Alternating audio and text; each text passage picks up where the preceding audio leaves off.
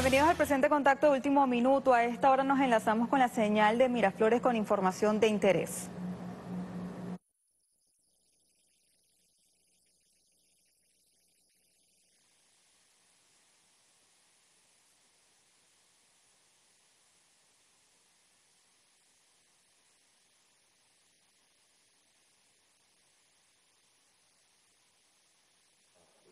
historia de estos años de la nueva época venezolana. Vio mi saludo, toda la familia venezolana, son las 10 y 20, 10 y 22 de la noche. Mi saludo fraterno, estamos en reunión de trabajo terminando ya nos hemos convocado para una buena reunión el alto mando político militar de Venezuela, de la República Bolivariana de Venezuela. Está presente el Consejo de Vicepresidentes de Gobierno, la Vicepresidenta Ejecutiva, Delcy Eloína Rodríguez Gómez con su cuerpo de vicepresidentes de gobierno, el vicepresidente de Economía Tarek Al-Aizami, Salam Aleikum, el vicepresidente de Seguridad Ciudadana, almirante Remigio Ceballo, el vicepresidente de Servicios y Obras Públicas, general Néstor Reverol Torres, el vicepresidente del Socialismo Territorial, primer teniente Mervin Maldonado, el vicepresidente de Planificación, profesor Ricardo Menéndez, el vicepresidente de Comunicación, Cultura y Turismo, el compañero Alfred Nazaret Ñáñez.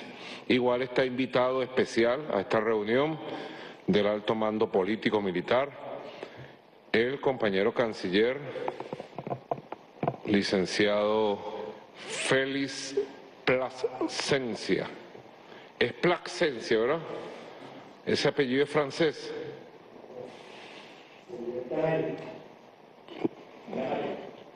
Canario. Canario, bueno. Igualmente están invitados de manera muy especial el presidente de la Asamblea Nacional, compañero Jorge Rodríguez, el primer vicepresidente del Partido Socialista Unido de Venezuela y diputado jefe del bloque del cambio mayoritario, compañero Diosdado Cabello Rondón, el gobernador del estado Miranda y coordinador de todos los gobernadores del país y gobernadoras. Héctor Rodríguez, del Consejo Nacional de Gobernadores y Gobernadoras, miembro del Consejo Federal de Gobierno. igual está la primera combatiente, doctora Cilia Flores, y está el alto mando, el Estado Mayor Superior en pleno Ministro de Defensa, General en Jefe Vladimir Padrino López. El Comandante Estratégico Operacional, General en Jefe Domingo Hernández Lare. Los comandantes del Ejército, de la Armada, de la Aviación Militar Bolivariana, de la Guardia Nacional Bolivariana y de la Milicia Nacional Bolivariana, generales y almirantes y también está invitado especial a esta reunión el general en jefe, director del Servicio Bolivariano de Inteligencia, compañero general en jefe González López, y también el jefe del Estado Mayor de la Comandancia en Jefe y secretario general del Consejo de Defensa de la Nación, el mayor general José Adil Da- Adaleno Ornella Ferreira. Muito obrigado, meu general. Saludos, pues, aquí está el equipo. Hemos estado haciendo una reunión que habíamos preparado en los últimos días, muy importante. Lo único que lamento es que sea un poco tarde. 10 y 26 minutos. Porque, bueno, habrá que repetir muchas de estas informaciones que voy a dar. Muy importante. Hemos estado todos estos días en encuentros, Congreso de la Clase Obrera, Congreso del Partido Socialista Unido de Venezuela, Congreso de la Juventud. Hemos estado participando de diversos eventos y llevando adelante una observación de todo el panorama mundial y de los acelerados y grandes cambios que hay en la realidad geopolítica del mundo. La geopolítica. ¿Mm? Es muy importante. Nosotros sabemos que nuestro pueblo tiene una gran conciencia geopolítica. Sabe dónde está la verdad, sabe dónde está la fuerza y sabe dónde está la justeza de la historia. Sabemos que nuestro pueblo tiene una gran cultura política, un gran conocimiento y una gran conciencia. Lo sabemos, nos consta. En 23 años de revolución se ha construido una gran conciencia de toda la población, de todo nuestro pueblo, de la juventud. Me impresiona las opiniones que hemos podido recoger de muchachas muy jóvenes, muchachos muy jóvenes, sobre la situación del mundo y la guerra. La información que manejan, los conceptos que manejan. Y hay un debate abierto en la sociedad venezolana y en el mundo sobre la situación actual, sobre su posible evolución y sobre las consecuencias que pueda tener la situación del mundo sobre nuestro modesto país. Importante. Por eso convoqué como presidente de la República, jefe de Estado, jefe de gobierno y jefe revolucionario al alto mando político militar de nuestro país para tomar las riendas y para tener una visión muy clara, lo más clara posible, de qué está sucediendo en el mundo. Está empezando hoy lunes 7 de marzo. ¿Mm? Hace tres años, un día como hoy, fue el primer golpe eléctrico, primer golpe que nos dieron. Luego marzo y abril seríamos víctimas de varios golpes. Yo recuerdo, siempre he tenido confianza absoluta en el pueblo, siempre, pueblo consciente que escucha, que lucha. Recuerdo aquellos días, siempre hablamos con la verdad y siempre dimos los pasos acertados que ameritaba aquella inusual situación del golpe eléctrico, del sabotaje eléctrico, que después se demostró con suficiente prueba las características del golpe, cómo lo dieron, etcétera, etcétera. también recuerdo en estos días, hace dos años, lo recuerdo clarito, como que fuera hoy mismo. ¿Mm? Silvia, recuerda, en estos días, señora vicepresidenta, cuando la pandemia golpeaba el Asia, golpeaba Europa. Y alguna gente llegó a creer que era una, una, enfermedad que se iba a quedar por allá, por Asia, por Europa. Yo escuché gente que dijo, no, esa pandemia, eso no va a llegar por aquí.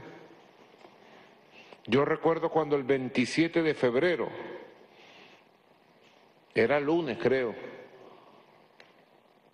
27 de febrero del año 2020, hace dos años, el 2019 enfrentamos la guerra eléctrica y mil guerras. En el 2020, arrancandito, se vino la pandemia del mundo. Y recuerdo que hicimos una reunión de estas características, trajimos a los científicos, a los expertos, hicimos consultas previas con países hermanos del mundo, China, Rusia, Vietnam, Corea del Sur, la India, Sudáfrica, Cuba, y logramos determinar con tiempo la evolución de la pandemia y las medidas que había que tomar para proteger a Venezuela. Y salimos a hablarle, Diosdado, a nuestro pueblo y le dijimos al pueblo, hay una pandemia en el mundo, es inevitable que llegue en las próximas semanas y debemos prepararnos para proteger íntegramente a nuestros niños, a nuestras niñas. Si fuera el caso y fuera necesario, tendríamos que ir a cuarentenas parciales, a cuarentenas por regiones, a cuarentenas en el sistema educativo. Ya vislumbrábamos, ya vislumbrábamos lo que podía venirse y nos preparamos. Designé una comisión presidencial encabezada por la doctora Delcy Rodríguez y un conjunto de expertos en la salud, de científicos y científicas. Y arrancamos. En marzo, creo que fue el 12 de marzo, detectamos el primer caso. Y el 16 de marzo ya expandimos por necesidad de manera preventiva y tempranera la cuarentena consciente, voluntaria, nacional, que fue ejemplo en el mundo. Duramos 110 días en cuarentena radical, impresionante. La gente en su casa, la gente resguardada. Y bueno, todo lo demás es historia. 2020, 2021. La revolución bolivariana, nosotros, los revolucionarios y las revolucionarias, tenemos un método de trabajo aprendido de nuestro comandante, amado comandante Hugo Chávez, de llevar un paso, dos pasos, tres pasos adelante de cualquier coyuntura, de cualquier amenaza, de cualquier situación. Por eso estamos aquí, por eso estamos aquí, vivos, de pie y victoriosos, y unidos, además, unidos férreamente en la vanguardia cívico-militar policial unidos poderosamente con nuestro amado pueblo y unidos como país. Venezuela ha entrado en una fase de recuperación. Conquistamos la paz. A pulso conquistamos la paz. Y en paz emprendimos las tareas de la recuperación económica, la diversificación del crecimiento, la sanación de las heridas sociales del bloqueo económico, el fortalecimiento de las libertades públicas, los derechos civiles, la participación protagónica del pueblo, el poder popular. Y pudiéramos decir que el año 2021 fue un buen año. Fue un buen año. Y estamos haciendo todo lo que está en nuestro alcance para que el año 2022 y los años que estén por venir, en cualquier circunstancia que le toque vivir a la humanidad, sean buenos años para Venezuela. En cualquier circunstancia que le toque vivir a la humanidad. Preservar la paz, la independencia nacional, la soberanía, la constitución y el modelo socioeconómico de Venezuela esté en el centro de nuestro esfuerzo y conquistar nuevos derechos, restaurar nuevos derechos sociales y económicos para nuestro pueblo. Un concepto claro, muy claro, que tenemos y que aplicamos. Todo depende de nuestro propio esfuerzo. Nunca, jamás, nadie nos va a regalar nada. Nunca, jamás en este mundo nadie nos va a regalar nada. Así de sencillo. Todo depende de nuestro esfuerzo, de nuestra capacidad política, profesional, científica, de la unión de los venezolanos y las venezolanas. De eso depende todo. Hoy y siempre será así. Dependerá del esfuerzo nacional, de la unión nacional. Por eso hemos hecho una evaluación hoy de la situación del conflicto armado en Ucrania, de la operación militar especial que el presidente Vladimir Putin decretó para la desnazificación de Ucrania, la desmilitarización de Ucrania, los impactos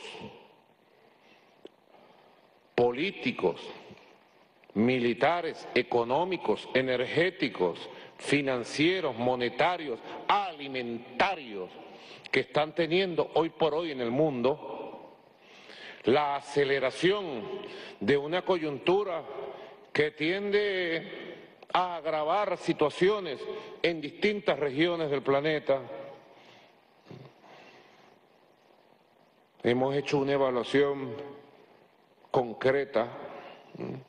Quiero agradecer al compañero general en jefe Vladimir Padrino, a los generales y almirantes, han hecho una exposición verdaderamente brillante, de amplio conocimiento de las razones históricas y geopolíticas de la situación actual en Ucrania y del conflicto armado, sin quedarse en la campaña pública, sin quedarse en lo fenoménico, sin quedarse en las apariencias.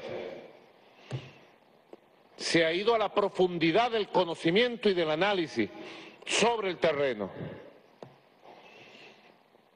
Y hemos logrado captar la situación actual. Sobre eso yo tengo que decirle desde Venezuela evaluando la información de inteligencia estratégica que manejamos del mundo, evaluando la situación de Ucrania con mucha sinceridad y con el deseo de paz para el mundo, tenemos que expresar que estamos gravemente preocupados por la posibilidad de una guerra en Europa y una extensión a otras regiones del mundo de esta confrontación armada.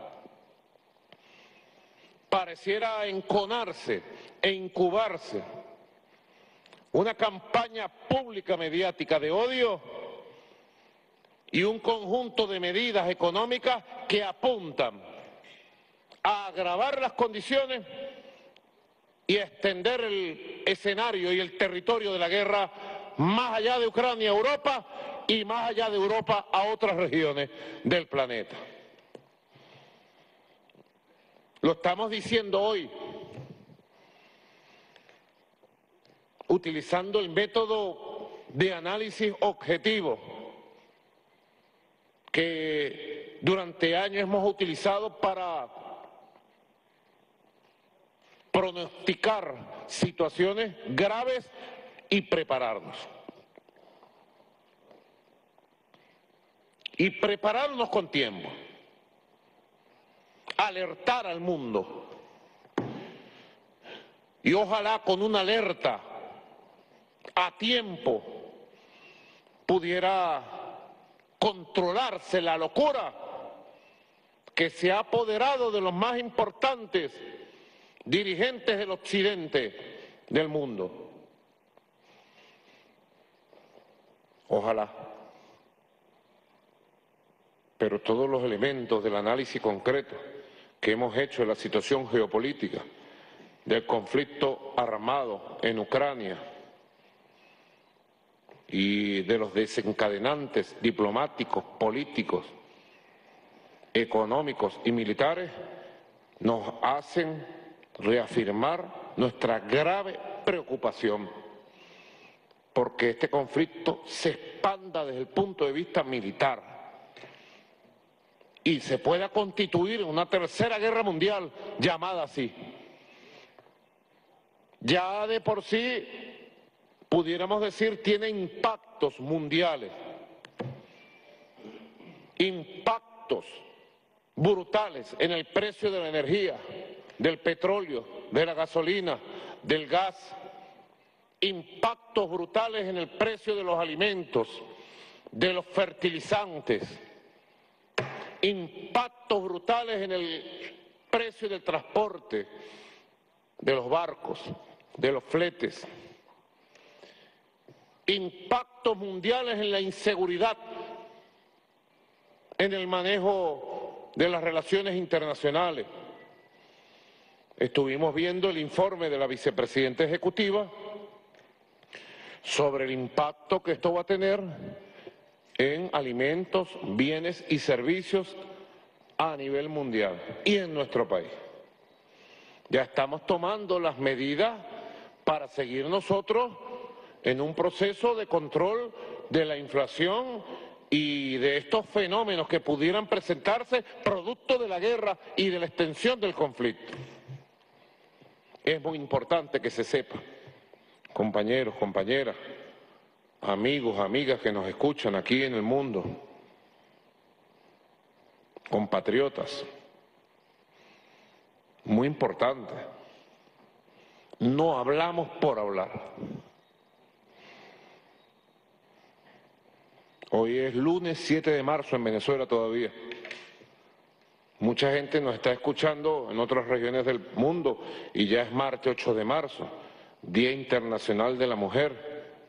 Aprovecho para transmitir a todas las mujeres de nuestra patria y del mundo nuestro abrazo solidario, cariñoso y de felicitación y llamar a las mujeres del mundo a luchar por la paz, por el restablecimiento de un orden internacional de respeto mutuo, de paz,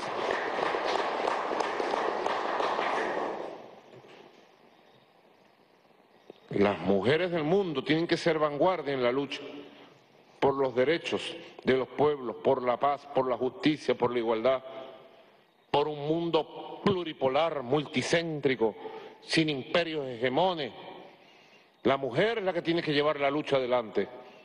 ¿Mm?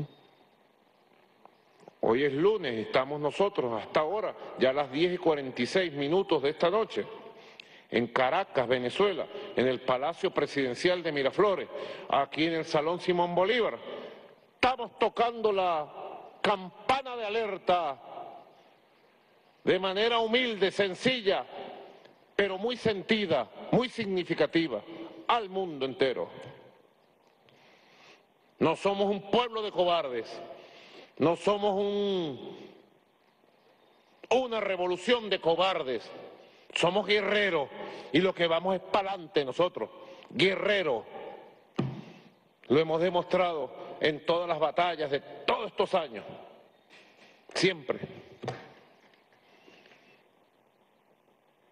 Tenemos una estrategia, un razonamiento, un sentido de nuestra lucha, una causa para defender, un plan, una voluntad consciente tenemos un Estado, tenemos un pueblo, tenemos una fuerza militar, tenemos una unión cívico-militar. Y eso ha permitido preservar a Venezuela, su unión nacional, preservar la paz, conquistar la paz, construir la paz. Pero estamos en un momento muy peligroso.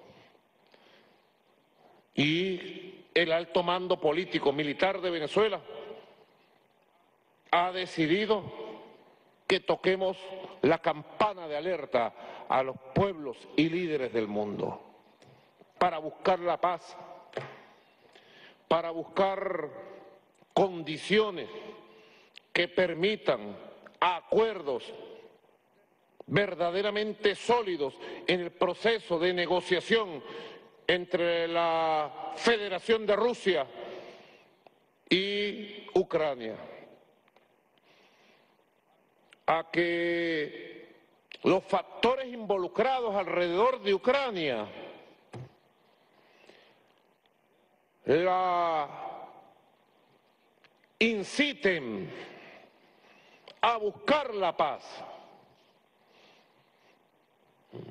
y abandonar las posiciones que ha tenido en el pasado, lamentablemente. Que no se asuse el conflicto militar, que se respeten los corredores humanitarios para proteger a la población civil y que más temprano que tarde se pueda desescalar y lograr un acuerdo sustancial de paz en Ucrania, entre Rusia y Ucrania. Y no se pretenda utilizar el conflicto armado en Ucrania para escalar una guerra europea y escalar una guerra mucho más allá, como algunos pretenden de manera irresponsable en el mundo. Lo decimos modestamente desde la patria del libertador Simón Bolívar. Lo decimos modestamente desde Caracas, Venezuela. Nosotros tenemos que tomar medidas, hemos ya tomado medidas para proteger nuestra economía, para proteger el derecho a la alimentación de nuestro pueblo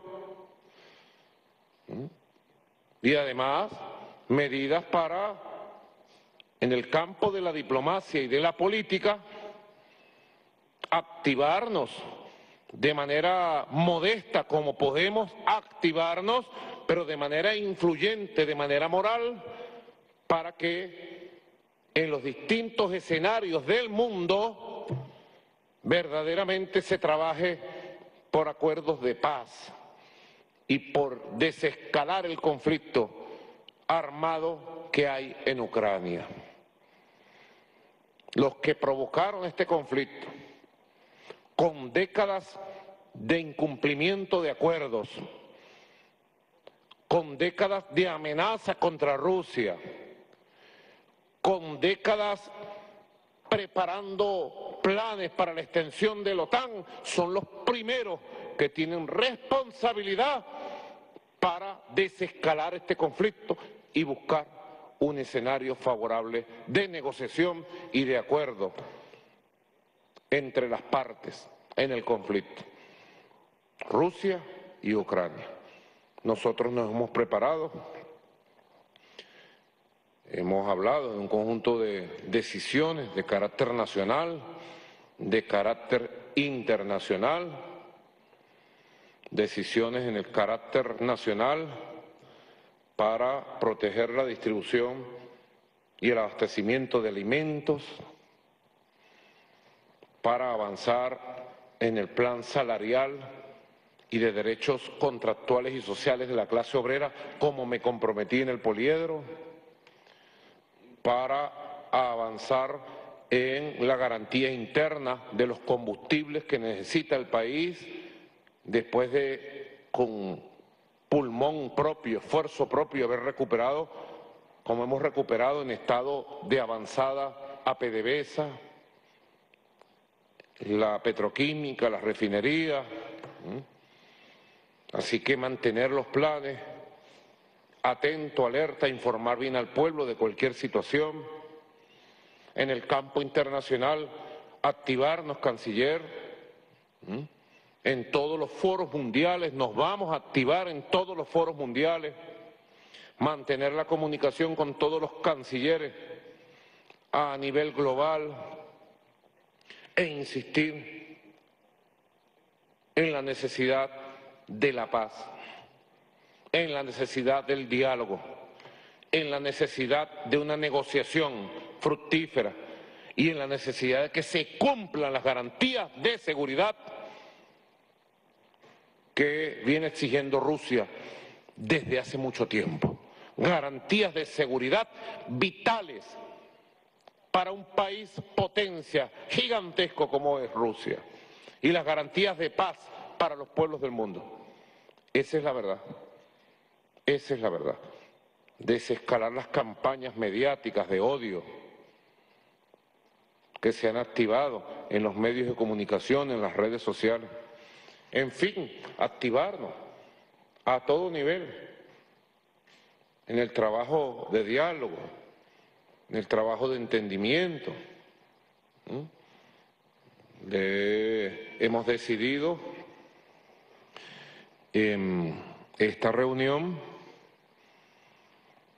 reactivar con mucha fuerza el proceso de diálogo nacional con todos los factores políticos, sociales, económicos, religiosos, culturales del país. El diálogo de México recibió un golpe tremendo, como saben ustedes. Pero si estamos pidiendo diálogo para el mundo, tenemos que dar ejemplo en el país.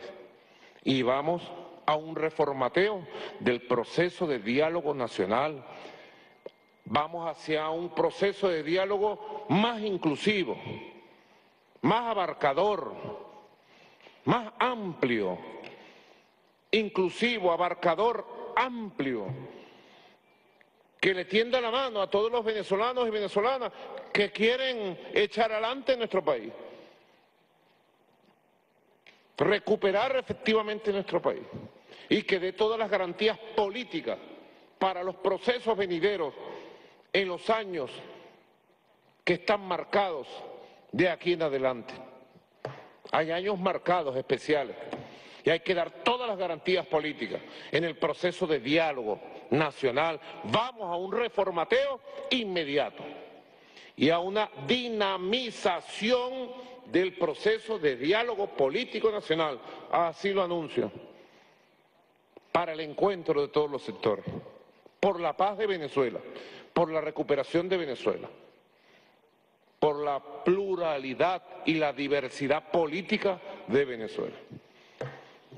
Lo hemos considerado vital como línea estratégica. También quiero comentar que el día sábado pasado en horas de la noche llegó a Venezuela una delegación del gobierno de los Estados Unidos de Norteamérica. La recibí acá en el Palacio Presidencial,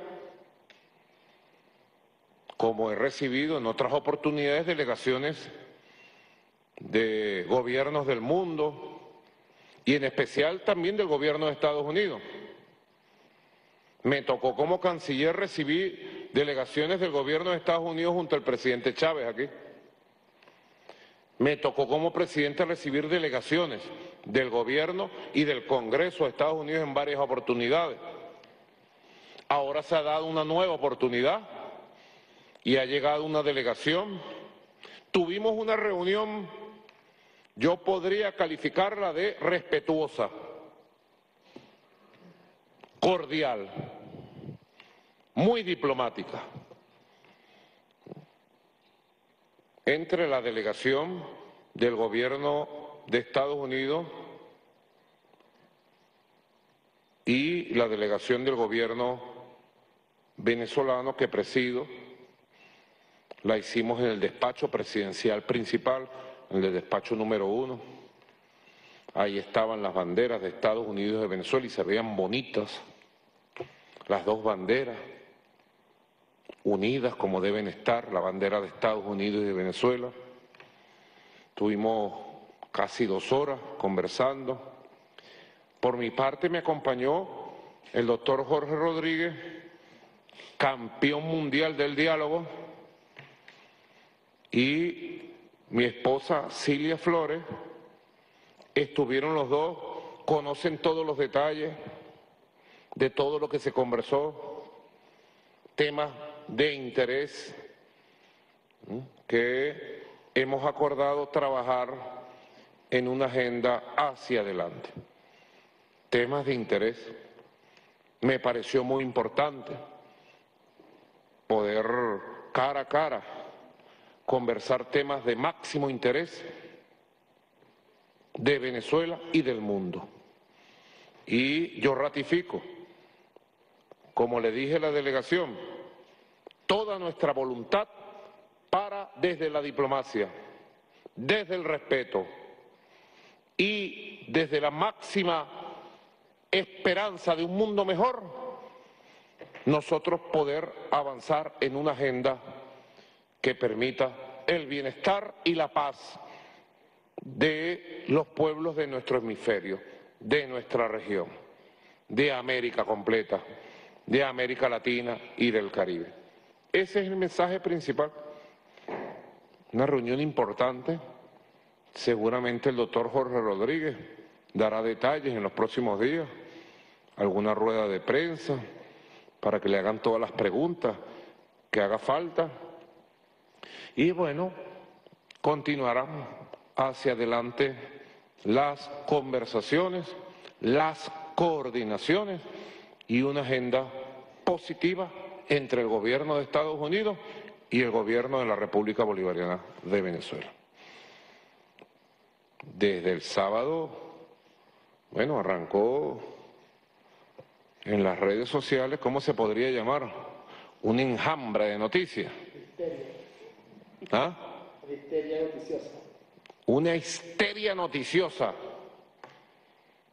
en las redes sociales versiones que van, versiones que vienen, que no sé quién lo llamaron, que a no sé quién no lo llamaron, que se habló esto, que no se habló aquello. Sale Reuters, los periodistas de Reuters escriben como que hubieran estado en la reunión.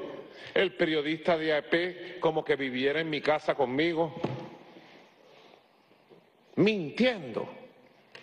Todas las versiones que han salido Pura mentira, pura especulación, sin necesidad, diría un amigo mío, sin necesidad. Nosotros nos apegamos a la verdad, nos apegamos a la buena voluntad, a la buena diplomacia y al buen sentido de realidad de hacer avanzar la paz en nuestra región y en el mundo. Los temas que se conversaron, se conversaron. Los temas que se acordaron, se acordaron. Y bueno, seguiremos adelante. Doctor Jorge Rodríguez, queda usted autorizado para hablar ampliamente de esta conversación. Así que estamos activados, estamos activados a todo nivel, con una diplomacia de paz, con una diplomacia propositiva, desde Venezuela, un pueblo noble un pueblo bueno, activados, con iniciativa permanente. Es el tiempo de la diplomacia, Es el tiempo de la palabra, es el tiempo de la verdad y es el tiempo para reconstruir la paz y no dejar que se escale una situación que se vaya de las manos y que genere una gran guerra donde todos perdamos. Una gran guerra que afecte el desarrollo del propio planeta y de la vida de la humanidad sobre este planeta. Así que bueno, estamos activados en todos los frentes, económico, energético, Tarek, activadísimo en el frente energético. Hemos estado conversando con nuestros socios de la OPEC Plus. Venezuela, como ustedes saben, siempre va a estar al frente de las iniciativas para estabilizar el mercado petrolero, el mercado gasífero, el mercado energético. Estamos preparados, lo vengo diciendo de hace meses, Diosdado. Diosdado puede mostrar los videos el miércoles. Lo vengo diciendo desde hace meses, señora vicepresidenta, señor Tarek Eizami. Lo vengo diciendo en español, en francés,